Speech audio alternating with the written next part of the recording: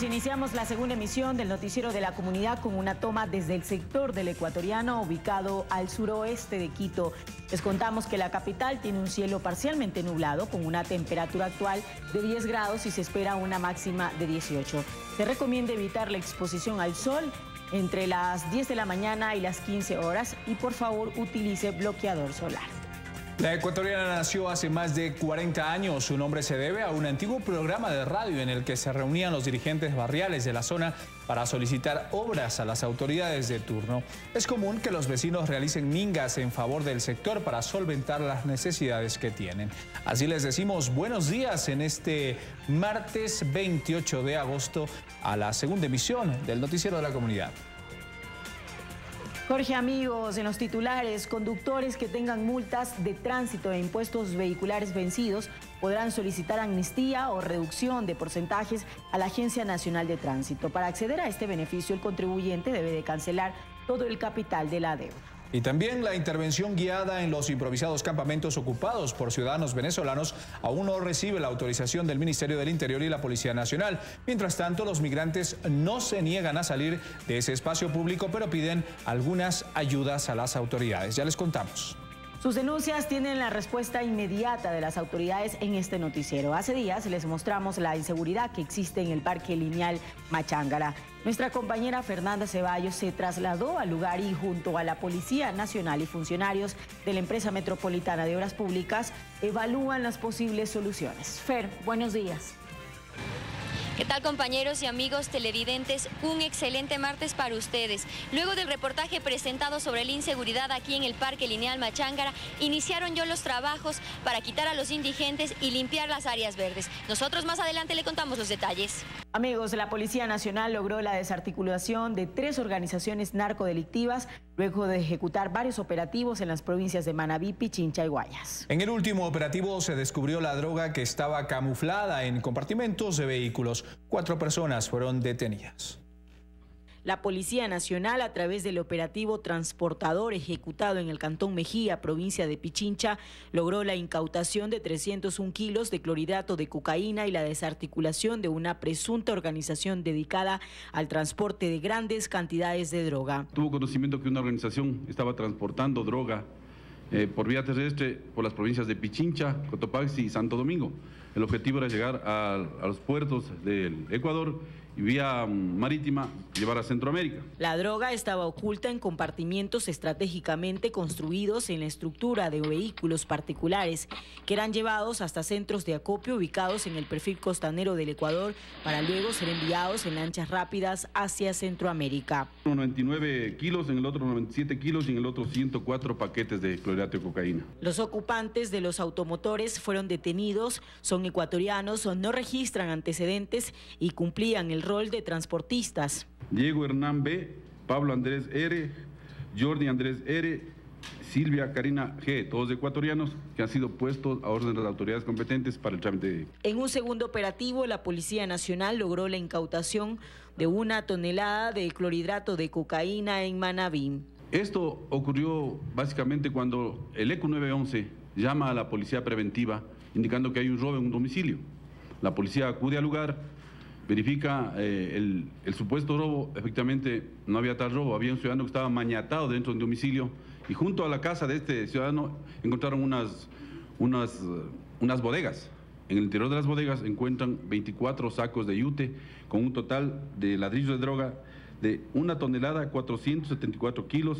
Y en un último operativo ejecutado en el puerto principal denominado Estratagema, se incautó 58 paquetes tipo ladrillo con clorhidrato de cocaína en la aprehensión de dos integrantes de una organización de tráfico internacional de drogas. Se conoció que estaban enviando grandes cantidades de droga a través del puerto marítimo, pero para esto acopiaban en Guayaquil en una casa. Helen Quiñones, 24 horas.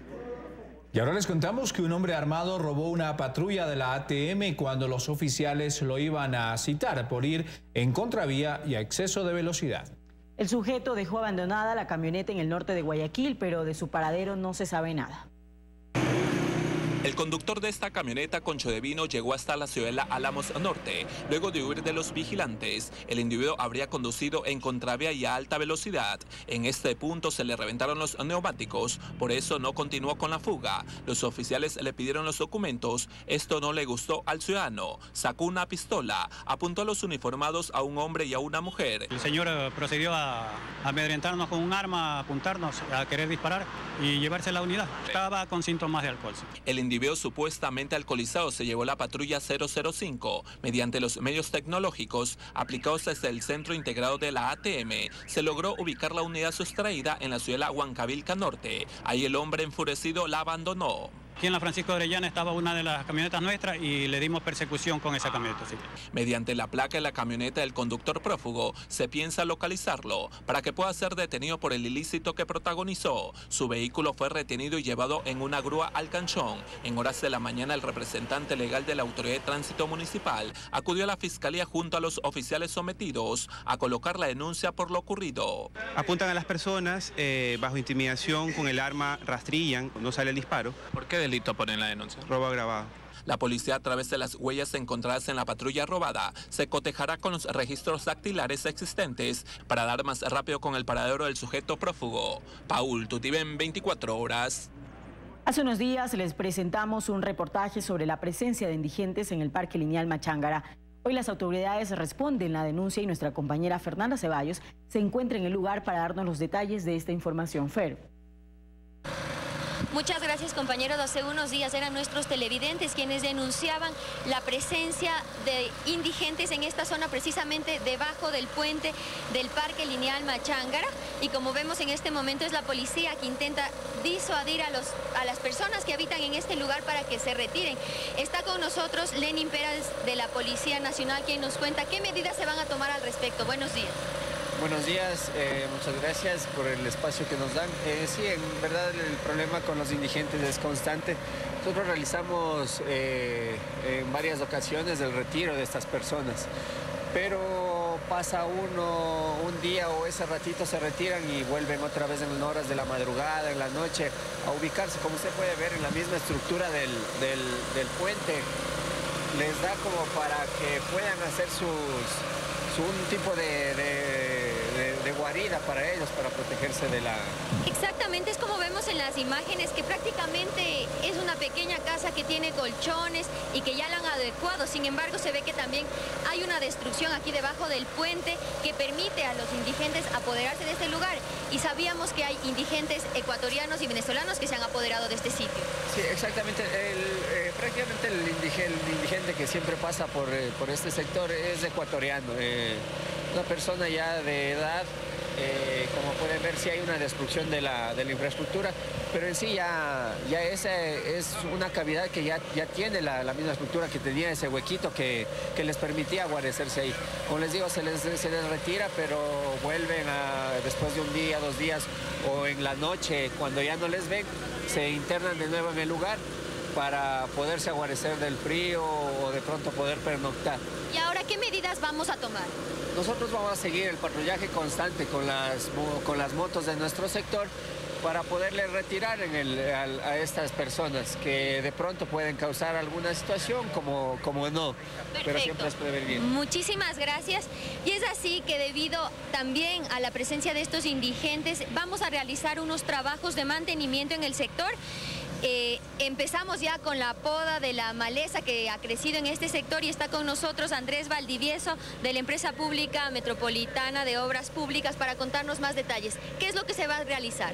Muy buenos días, efectivamente estamos con un equipo aquí realizando el mantenimiento de lo que es el puente. Vamos a realizar a cesar esta, esta parte de cuarto que les usan los indigentes. Estamos trabajando en coordinación con la Policía Nacional para la seguridad del parque. Vamos a realizar también el mantenimiento de lo que es poda de áreas verdes, limpieza de las piletas y un trabajo integral más que nada. Me, decías, me decía también además que se va a colocar unas nuevas piletas en la zona porque estas realmente han sido víctimas del vandalismo, están grafiteadas o garabateadas. Sí, más que nada vamos a rehabilitar estas piletas. Por el tema de seguridad se nos robaron todo lo que son equipos, neumáticos y todo. Y en este sector, en esta pileta específicamente, tenemos un problema que no tenemos el transformador. Estamos ya coordinando con la empresa eléctrica para colocar el transformador. Algo que preocupa realmente a los, a los transeúntes de esta zona es la luminaria. ¿Se puede hacer algo con este tema? Sí, efectivamente, también eso es con coordinación de la empresa eléctrica, estamos trabajando y esperemos que en los próximos meses o semanas ya esté habilitado lo que es de luminarios. ¿Para cuándo se tendrá ya lista esta pileta y los arreglos que, que, estamos ofreciendo a la ciudadanía? Aproximadamente unos dos meses, estamos ya, ya adquirimos los materiales, están llegando de a poco los materiales, esperamos unos dos meses ya poder haber habilitadas las dos piletas de este sector. Perfecto, muchísimas gracias. La Policía Nacional y la Empresa Pública de Obras Públicas se compromete a trabajar en esta zona por la seguridad y el mantenimiento de las áreas verdes en este sector, pero también es un compromiso de la ciudadanía mantener limpia esta zona que es de uso de todos. Le recordamos nuestras líneas de contacto de primera mano arroba teleamazonas.com y nuestro Twitter arroba 24 horas UIO para que usted también haga sus denuncias y podamos ir a su barrio. Regresamos con ustedes de estudios. Buenos días. Buenos días también para ti, Fer. Gracias por la información y qué bueno que se realicen estos trabajos. Solo esperamos que las autoridades no esperen la denuncia de los vecinos para poder realizar la intervención en lugares como estos que de verdad lo necesitan. Jorge, tienes más información. Son las 7 de la mañana con 52 minutos. El municipio de Quito aún no recibe la autorización del Ministerio del Interior y Policía Nacional para proceder con la intervención guiada en los improvisados campamentos ocupados por venezolanos en el norte de Quito. Estas personas no se niegan a salir de ese espacio público, pero piden ayudas eh, como un trabajo o vivienda.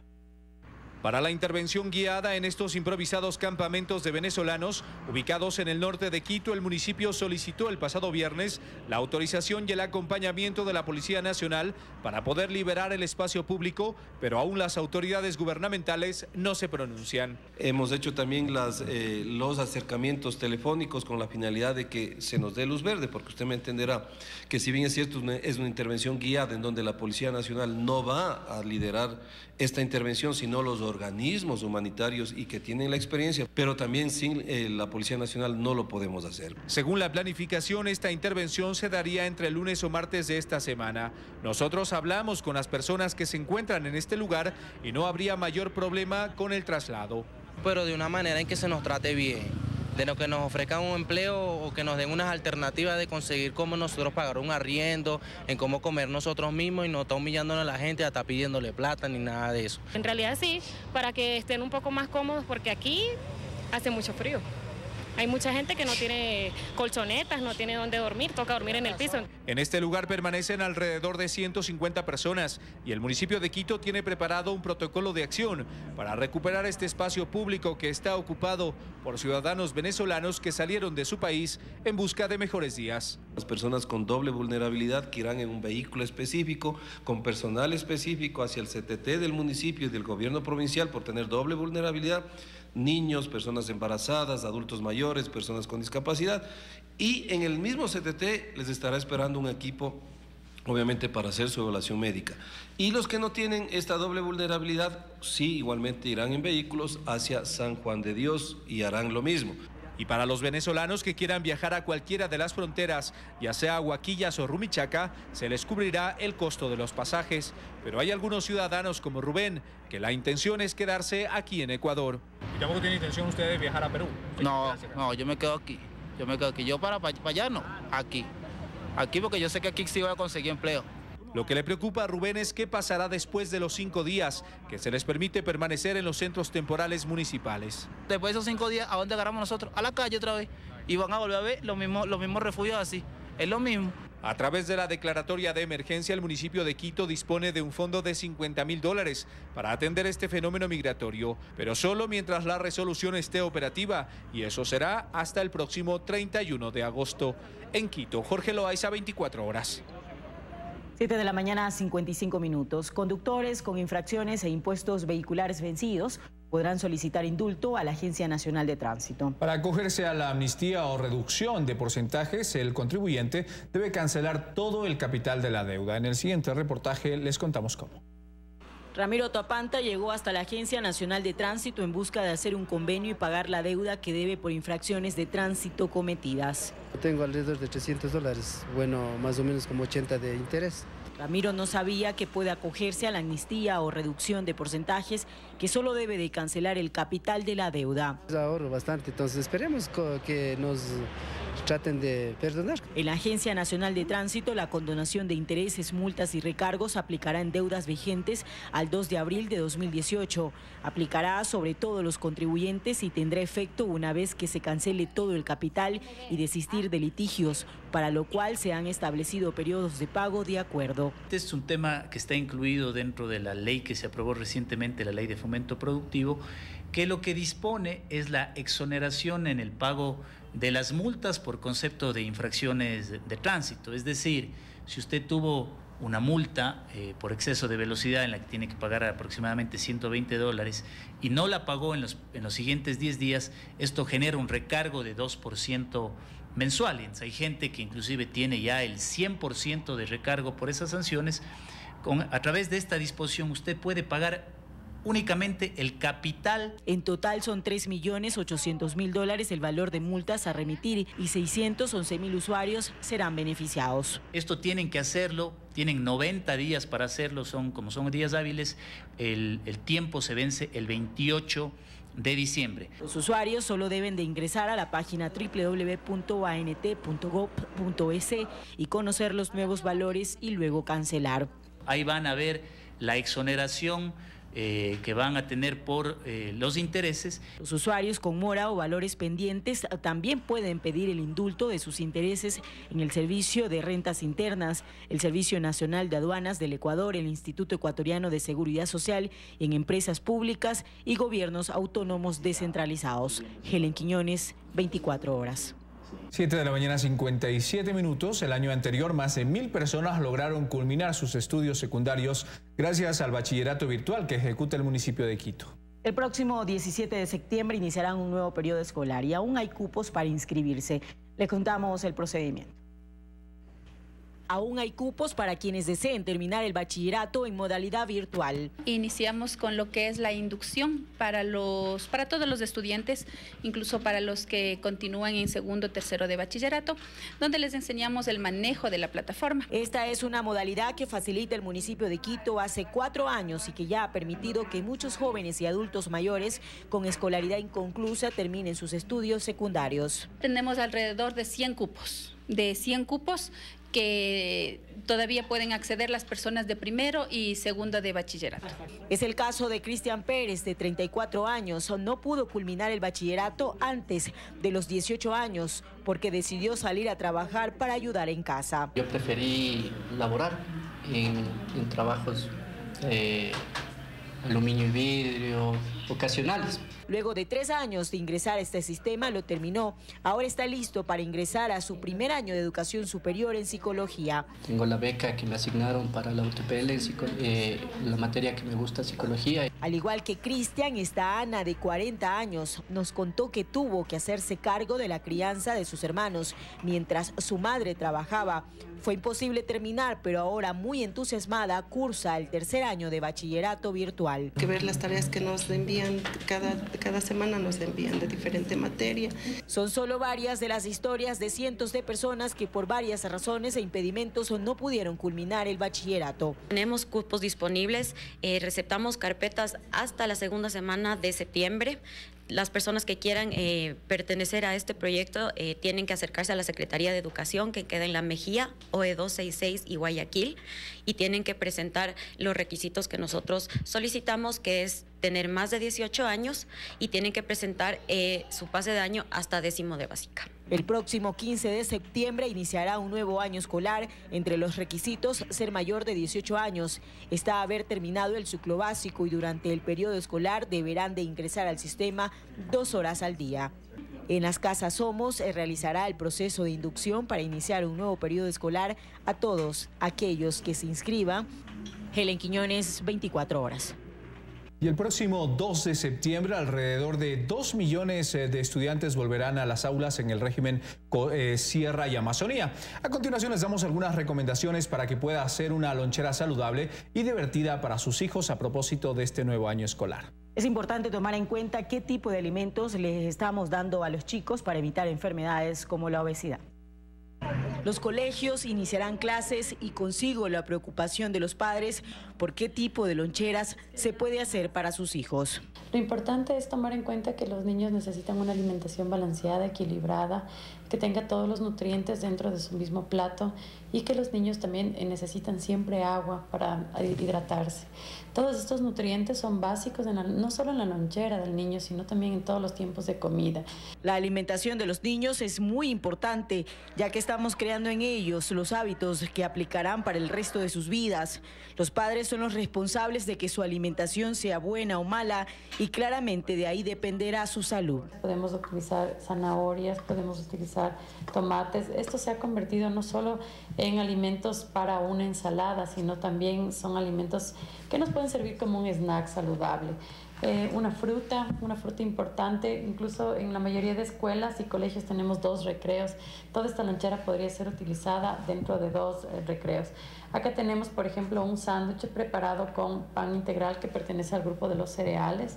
Tenemos eh, carnes que son eh, del, carne y queso que son del grupo de las carnes. Es importante porque es una muy buena fuente de proteína. La lonchera debe de ser saludable y divertida para que los niños las puedan consumir. Vamos a utilizar eh, frutos secos que son una fuente de grasas saludables para su crecimiento, especialmente para el desarrollo del cerebro en los primeros años de vida. Evite jugos y alimentos procesados. Gaseosas, chocolates, galletas y caramelos contienen exceso de azúcar el cual puede causar sobrepeso e hiperactividad en los niños. Aseguramos que el sistema inmunológico de nuestros niños esté siempre fuerte, eh, tengan una adecuada digestión, tengan un adecuado aporte de proteínas para el crecimiento de sus huesos, de, de sus músculos.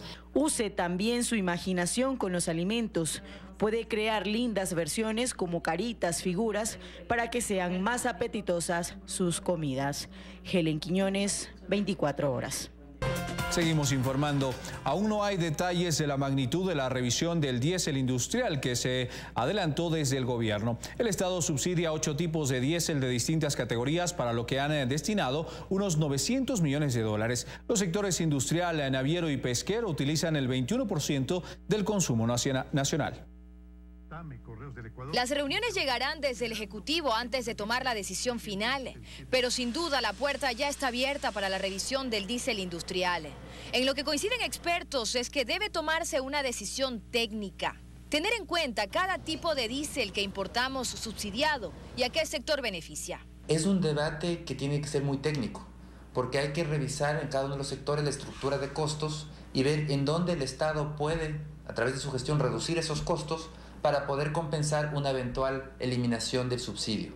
Según información de la web de Petroecuador, el Estado subsidia ocho tipos de diésel de distintas categorías. Diésel 1 para el sector automotriz, diésel 2 también automotriz, diésel 2 del sector camaronero, diésel 2 eléctrico, diésel 2 para la actividad pesquera nacional, diésel 2 para la cuantía doméstica industrial, el diésel premium para el sector automotriz y el diésel premium eléctrico. El costo del subsidio va desde un dólar con 5 centavos hasta un dólar con 33 centavos. Luego, el precio al consumidor se establece dependiendo de cada sector. Pero a cambio, hacer compensaciones para otorgarle competitividad. ¿Cómo se puede hacer esto? Revisando eh, aranceles que se pagan a insumos, materias primas, que encarecen la producción en esos sectores, reduciendo tramitología. hay que analizar caso por caso y ver cómo se puede compensar una afectación que podría haber eh, en la competitividad. En el 2015 el gobierno de Rafael Correa ya revisó el subsidio del diésel para el sector industrial. En aquel entonces el argumento que llegaba desde el gobierno era que la utilización de hidrocarburos representaba únicamente el 1% del costo de producción de los sectores que se verían afectados. En total está estimado que para el 2018 el gasto en subsidio de diésel importado sea de cerca de 900 millones de dólares. Solo el sector industrial, naviero y pesquero consume el 21% de diésel del país. Sectores ya han mostrado su descontento a la revisión, la que aún no se establece cuándo llegará. Dayana Monroy, 24 horas. El gobierno podría compensar la posible modificación del subsidio del diésel industrial como la entrega de certificados de abonos tributarios. Así lo dijo el ministro de Comercio Exterior y ahora también de Industrias, Pablo Campana. La función de ambos ministerios avanza. Más que como ministro de Comercio Exterior, llegó como ministro de Industrias, con la ya ex ministra Eva García para concretar finalmente la fusión. Hemos asumido eh, formalmente el ministerio, vamos a hacer una evaluación vamos siempre a valorar los grandes funcionarios que tenemos. Eso finalmente es lo que tomará un poco más de tiempo. Saber con cuántos trabajadores se queda el nuevo y fusionado Ministerio de Producción, Comercio Exterior e Inversiones. ¿De qué va a depender? Buscar eficiencias, tenemos que buscar eficiencias. Si, si se fusionan dos ministerios, no puedes tener dos directores administrativos financieros, dos directores de recursos humanos, dos directores de contabilidad. Hay que fusionar y tratar de ver eficiencias y, al, y por otro lado, fomentar al sector productivo para que sea el dinamizador de nuevas fuentes de empleo. Según la información de gestión de Eva García, el Ministerio de Industrias queda con 512 funcionarios mientras que la página web del Ministerio de Comercio Exterior revela que existen 242 trabajadores en ese ministerio, con un gasto anual de 4.436.000 dólares. Siempre vamos a ser muy exigentes. Personalmente vengo del sector privado y en el sector privado te miden por resultados. Lo mismo tiene que ser en el sector público. Descartó que durante esta fusión o después puedan existir problemas en el manejo de los trámites que estaban a cargo de cada uno de los ministerios. Quiero comentarles que estamos trabajando junto con el ministro de Economía y Finanzas, eh, con una asesoría del Banco Interamericano de Desarrollo y del Banco Mundial para mejorar los procesos de tramitología en el Ecuador. Además, ahora como cabeza del Ministerio de Industrias, habló sobre las compensaciones que desde ya se analizan desde el gobierno, por si finalmente se da la revisión del subsidio del diésel industrial. Buscaríamos compensar de alguna manera con los CATs, los certificados de abono tributario. Desde el gobierno nacional es debemos fomentar toda actividad para brindar más competitividad. Este por ahora es un tema que aún está en debate casa adentro. Luego de ello se abrirán las conversaciones con los sectores que podrían verse afectados. Dayana Monroy, 24 horas. Y Javier Lazo empezó sus funciones como ministro de Agricultura después de la ceremonia eh, de posesión simbólica por parte de campesinos y agricultores. Lazo busca una transformación en este sector. Entre aplausos y abrazos recibieron los campesinos al nuevo ministro de Agricultura. Javier Lazo fue simbólicamente posesionado, al igual que el viceministro de esta cartera de Estado, que durante 15 meses ha sufrido varios cambios de autoridades. Lazo llega con miras de un cambio tras las múltiples quejas del sector. Ya basta de hacer lo mismo para poder tener un cambio, algo que nos devuelva la riqueza, algo que nos permita dignificar el trabajo de la familia campesina, vamos a hacer una transformación del sector agropecuario. Lazo es un bananero proveniente de una familia vinculada al campo, por eso dice entiende las necesidades de los agricultores, aunque pide calma. Que no significa inacción, que significa acción, pero acción ordenada, buen manejo de recursos. Tenemos recursos insuficientes. Dice que están preparando una solución integral en conjunto con los agricultores, aunque llega un ministerio con varios problemas con el agro. Problemas con el tomate, problemas con la cebolla, problemas con el arroz, problemas con todos los productos. Los productores del Ecuador no recuperamos la inversión. Aunque tras varios reclamos, movilizaciones y demás, hoy apoyan el cambio que impulsa Lazo. Esperamos que no nos defrauden, compañeros, y todo su equipo, porque nosotros somos los vedores que estaremos aquí presentes. Temas como la burocracia, la comercialización de productos son prioridad para los agricultores. En Quito, Andrea Samaniego, 24 horas. La Defensoría del Pueblo alega un incumplimiento de la resolución que permite que los ciudadanos venezolanos ingresen al país únicamente con cédula de identidad. Por ello puso en conocimiento de la jueza que emitió este fallo los nuevos requerimientos que exige Cancillería para controlar el flujo migratorio. Es la segunda ocasión que la Defensoría del Pueblo acude a instancias judiciales a solicitar que el Estado ecuatoriano permita el ingreso de ciudadanos venezolanos con la cédula de identidad. Al presentar un documento en la Unidad Judicial Tercera de la Familia, pone en conocimiento de la jueza Judith Naranjo, quien aceptó la medida cautelar a la exigencia de pasaporte, que el Ministerio de Relaciones Exteriores continúa exigiendo más requisitos a pesar de su fallo. Lo consideramos como una vulneración a los derechos de la población venezolana. Realmente la jueza tendrá que calificar esta medida que ha adoptado el Estado, el Estado ecuatoriano para verificar que efectivamente es o no es un desacato. Mediante un comunicado oficial, la Secretaría Nacional de Comunicación informó que independientemente de la resolución judicial, el ingreso de los ciudadanos venezolanos al país se verificará cumpliendo con la siguiente validación. Con la presentación de un certificado de validez de la cédula de identidad emitido por un organismo regional o internacional reconocido por el gobierno del Ecuador y con la presentación de un certificado de validez de la cédula de identidad emitido por las entidades autorizadas de Venezuela debidamente apostillado. Lo que nosotros estamos pidiendo es que se respete la decisión judicial y que no se restrinja los derechos de las personas venezolanas, en virtud de la crisis humanitaria que vive el pueblo venezolano. Según la Defensoría, en la audiencia se estableció que la Ley Orgánica de Movilidad Humana contempla como único documento de viaje válido y vigente para los ciudadanos sudamericanos pertenecientes a UNASUR la cédula de identidad, por lo que esperan que la jueza se pronuncie con celeridad en pro de los derechos del libre movilidad. En Quito, Daniela Valencia, 24 horas. María Verónica Espinosa, ministra de Salud, en su visita a Macas para asistir al gabinete ampliado que se desarrolló en esta ciudad, se comprometió a escuchar las quejas de quienes vienen denunciando presunta mala atención en el hospital de Macas. Las quejas de quienes se dicen afectados eh, cuentan eh, con el apoyo del asambleísta independiente Juan Pablo Belín, que pide eh, que se tome medidas.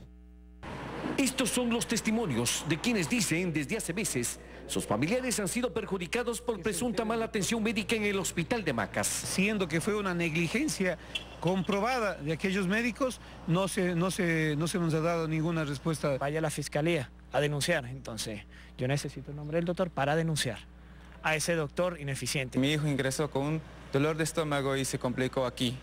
Entonces ahora quiero en este hospital. Junto a ellos hay más personas que buscan explicación de parte de las instancias de salud. Exigencias a las que se ha sumado el asambleísta independiente Juan Pablo Bedín. Las denuncias eh, se puso en conocimiento de delegados de la presidencia y del mismo eh, viceministro y esperamos que tomen las cartas en el asunto. Aquí no estamos para encubrir a nadie, para socapar eh, ningún tipo de negligencia. Por estas inquietudes, el tema salud en Morona, Santiago, fue tratado en el último gabinete ampliado que se cumplió la semana pasada en Macas. Al mismo asistió la ministra de esa cartera, quien señaló que su autoridad está dispuesta a recibir a, todos quienes, aseguran, han sido afectados. Estamos a las órdenes para recibir. Yo tengo autoridades locales que están en la plena potestad de atender los requerimientos Pero ellos ya no les creen a ellos, quieren hablar con usted. Pero con todo gusto también estamos a la disposición para recibir cualquier queja ciudadana. No solamente nosotros, insisto, somos un gobierno de transparencia. El gerente de la Casa de Salud cuestionada también asumió que hará lo mismo en los próximos días. Si alguien tiene algún tipo de inquietud, como digo, canalizaremos de la mejor manera y esclarecemos cualquier asunto que pueda haberse presentado. Algunos de los denunciantes han iniciado acciones en la Fiscalía de Macas, entre ellos el actual Intendente General de Policía, quien confirmó su acción, aunque no quiso aún pronunciarse. En Macas, Morona, Santiago, Wilson Cabrera, 24 horas. Son ya las 8 de la mañana con 38 minutos y a pocos días del ingreso a clases, la empresa pública metropolitana de movilidad y obras públicas coloca señalización en los exteriores de varias unidades educativas. Nuestra compañera Fernanda Ceballos está en la escuela Numa Pompillo Yona para contarnos todos los detalles. Fernanda. Buen día. Muchas gracias compañeros. Son alrededor de 150 instituciones educativas en las que se colocará la señalética vertical y horizontal. Estamos hoy en los exteriores de la escuela Numa Pompillo Yona en el norte de Quito, donde al momento se realiza y se coloca la señalización de límites de velocidad. Es decir, que los conductores al pasar por una escuela deben bajar la velocidad a 20 kilómetros por hora. Para contarnos más detalles sobre los trabajos que se están realizando, está con nosotros Cristian Zaragozín del Empresa Pública Metropolitana de Movilidad y Obras Públicas. ¿Qué tipo de señaléticas se están colocando? Buenos días, muchas gracias. Se colocan señales verticales y señalización horizontal también.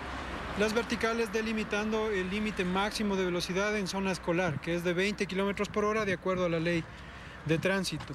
Entonces tenemos un plan de regreso a clases, el cual se realiza desde junio a septiembre todos los años, a pesar de que a lo largo del año se hace el mantenimiento de este tipo de señalización. Perfecto, muchísimas gracias. Algo que llama también la atención y me ha llamado la atención a mí y a nuestros televidentes es los quindes que están pintados en el paso cebra, ave emblemática de Quito, los quindes. ¿Qué significa? Así es, eh, el quinde, al ser una ave emblemática, la estamos pintando especialmente y con prioridad en las zonas escolares para de alguna manera eh, poner un elemento diferente a la vialidad. el cual llame la atención a los conductores y les haga el recuerdo de que el paso cebra es del peatón. El paso cebra tiene prioridad del peatón.